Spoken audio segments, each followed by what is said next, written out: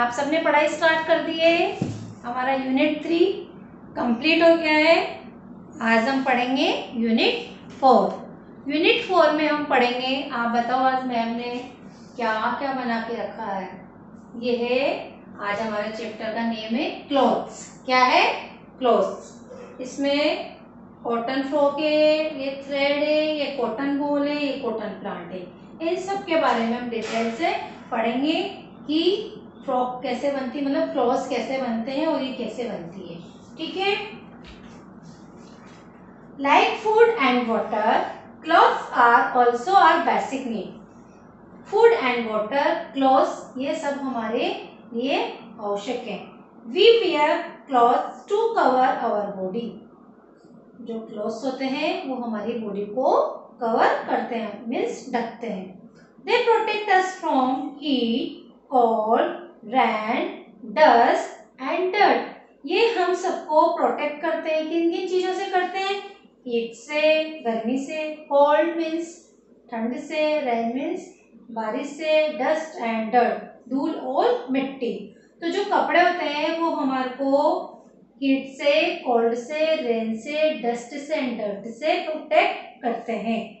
They make us look smart and attractive और cloth हमको क्या बनाते हैं? स्मार्ट बनाते हैं और अट्रैक्टिव बनाते हैं. क्लोथ को पहनने के बाद में हम स्मार्ट लगते हैं ना? अच्छे अच्छे कपड़े पहनते हैं तो neat and clean we wear different cloth in different season हम अलग अलग सीज़न में अलग अलग क्लॉथ्स पहनते हैं. It is very hot in summer summer में बहुत ज़्यादा गर्मी होती है बच्चों, आप सबको पता है कौन सा सीज़न चल रहा है। समर चल रहा है ना तो सबको पता है कितनी गर्मी हो रही है। So we wear cotton clothes इसलिए हम कौन से कपड़े पहनते हैं?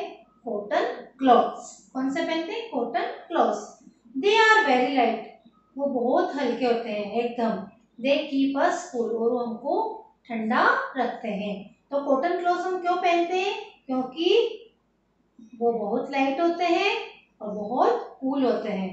We get cotton from the cotton plants अब आप सोचोगे मैम ने इतना सारा तो हमको बता दिया। पर अभी कॉटन कहाँ से आते हैं? कॉटन तो ये इसके बारे में हम आज यही पढ़ने जा रहे हैं कि हमको we get cotton from cotton plants हमको कॉटन कहाँ से मिलती है? कॉटन प्लांट से। तभी किस तरह से बनता है, इसका मैं पूरा आपको डिटेल में बताने जा रही हूँ। सबसे पहले कॉटन प्लांट से ये, इसमें बॉल्स है, जो ये कॉटन बॉल्स है फिर इसका कॉटन बॉल्स से थ्रेड बनता है मीन्स धागा बनता है। इसके बाद में इनको बुना जाता है, और फिर कपड़े तैयार होते हैं। फिर इन ड्रेस को पहनने के बाद में हम एकदम स्मार्ट दिखाई देते हैं। ठीक है? तो आज मैम ने क्या पढ़ाया? किसके बारे में पढ़ाया? कॉटन क्लॉथ के बारे में। एक बार मैं और बता देती हूँ। जिस तरह हमको खाने की, पीने की और हवा की ज़रूरत होती है, उसी तरह हमको क्लोथ्स की भी बहुत ज़रूरत होती है। क्लोथ्स अलग अलग टाइप्स के पहने जाते हैं अलग अलग वेदर के अनुसार। जैसे थ्री वेदर होते हैं समर रैनी विंटर तो इनमें सबसे पहले समर सीज़न जो, जिसके बारे में पढ़ा रही हूँ, अभी समर चल रहा है, बहुत गर्मी के दिन है तो इसके अंदर हमको क्या करना पड़ता है? कॉटन क्लॉथ पहनते हैं। कॉटन क्लॉथ हम क्यों पहनते हैं? क्योंकि वो बहुत लाइट होते हैं और हमारी बॉडी को कूल रखते हैं। अब आपने बताया कॉटन क्लॉथ किस तरह से बनते हैं मैम क्लॉथ किस तरह से बनते हैं? तो इस तरह से सबसे पहले कॉटन प्लांट होता है इसके बाद में कॉटन बॉल है ये हमारी।